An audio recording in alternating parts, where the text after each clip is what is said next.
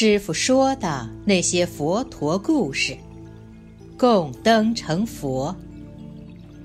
佛陀在舍卫国的奇树住时，每一天都有数以万计的人们向他求法，还带了衣食等去供养。舍卫城里有一个贫穷的孤女南陀，也常常去听佛陀说法。眼看国王、大臣等富有的弟子，不断以名贵的东西供养佛陀，而自己却做不到，他很伤心。当然，连一顿饭都要向人乞讨的他，哪来的东西供养佛陀呢？可是，佛法告诉人：欲知前世因，今生受者是。命运不好，怨谁？南陀女深知这些道理，她知道，唯有布施，才能转变贫穷的命运。她知道，假如有智慧，就会种善因，不至于受苦。这天，男陀女很欢喜，因为她启得一件旧衣，以一件旧衣换得一文钱，以一文钱换得一盏灯的香油。他将有一盏光明的灯，供养佛陀。南陀女非常欢喜，终于如愿的在佛前燃起了一盏灯。这时，他立在佛陀的面前，合掌顶礼，至诚恳切的发出他的心愿：愿这盏灯的光明，除去我多生以来心中的暗昧。消除过去的罪障，获得大智大慧。人人都期望自己的前途光明，所以在佛前有许多盏灯。第二天天亮前，穆建连去巡视灯供，发现国王和大臣们的灯盏光亮很微弱，男陀女的灯盏却灯柱如新，光亮异常。等到天亮后，穆建连用扇子要去熄灭这盏灯时，不管怎么卖力，也灭不掉南陀女的灯火，而其他的灯火，却在不知不觉中自灭了。穆建连觉得很奇怪，跑去问佛陀，佛陀为他解释道：“这盏灯火，不仅用手，就是清。”四海的海水来浇泼，暴风来吹袭，也不能熄灭，因为是主人发菩提心所布施的。穆建连，一个人在布施时，假如存有轻慢心，或另有沽名钓誉的企图，所得的功德一定很微薄。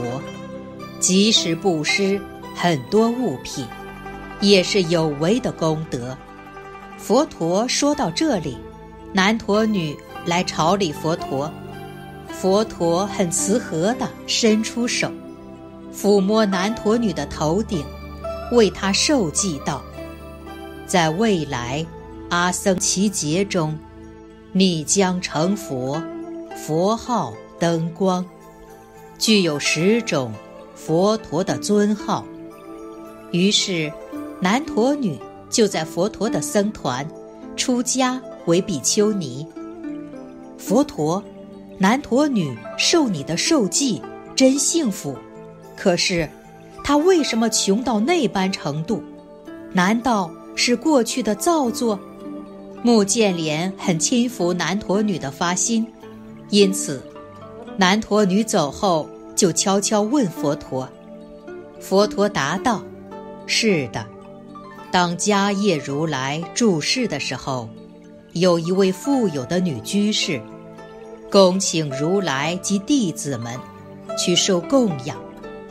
但在他之前，如来已承认一个穷苦的女孩子的恭请，如来没能先应她的供养。”使他很不高兴，尤其对方是个贫穷的人，越发引起他的嫉妒和轻蔑。为了消除心中的不满，他不惜以恶语讥讽、毁谤人家，因此招致以后五百生中永受贫穷的苦报。现在难得他悔过发心，所以才能受到佛法的甘露灌顶。当时舍卫城中。盛传着，贫女奉灯，得到佛陀的授记，许多人也仿效，以香、花、饮食、灯来佛前供养。偌大的花园，四周摆满了供养的物品。这时，佛陀知道，宣讲施灯功德的因缘已成熟，于是以阿难为当机者。向大众宣说了一段往事。过去二十五阿僧祇劫，娑婆世界有个强大的国家，国王名叫波塞奇，统领百千个小国家。他有一个太子和公主，太子名叫宝髻，公主名叫牟尼，他们常常。供佛斋僧，当时有位比丘，名叫圣友，也经常到处去企划油膏等燃灯的用具，回来制成恳切的燃灯供养佛陀及僧众，很久都没间断。这件事给公主牟尼知道了，她非常欢喜。命人请圣友比丘来，对他说道：“我也发心奉持布施，你燃灯所需要的用具，让我来供养好吗？”“好吧。”圣友比丘欣然地回答。从此，以公主所供养的酥油、灯柱，圣友更加一层勤劳于。燃灯工作，后来迦叶如来为圣友比丘受记，你将在未来阿僧祇劫成佛，名号定光如来。而公主牟尼也同样来至迦叶如来前被受记，你将于未来二阿僧祇九十一劫成佛。名号释迦牟尼，阿难，你知道吗？圣有比丘就是定光如来，而公主牟尼就是我。